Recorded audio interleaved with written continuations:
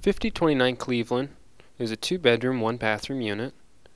This is located just a couple blocks from Wesleyan campus and a short drive from East campus. As you walk into the unit, you have a large living room space, big windows. This opens up into a dining room area where you have room enough for about a four to six person table. You have a full-size fridge, a lot of cabinet space, stove. This unit has a range hood in it. Down the short hallway, you have a linen closet off to the right as you walk into the bathroom where you have a vanity, full-size tub and shower combination. And this one also has an additional vanity above the sink.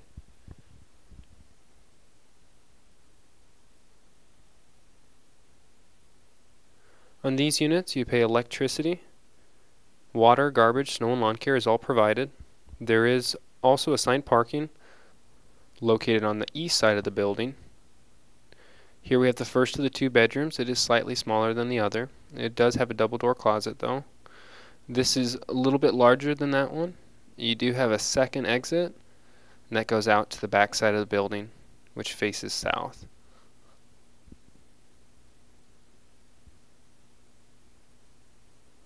There are coin operated washers and dryers located at the building. You're a short distance from grocery stores located off of 48th and Leighton should be affordable option for any students or people working at any of the universities. These spacious two bedroom apartments come in at 831 square foot total.